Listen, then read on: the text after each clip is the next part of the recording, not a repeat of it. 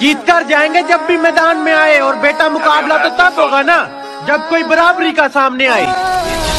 okay बेटा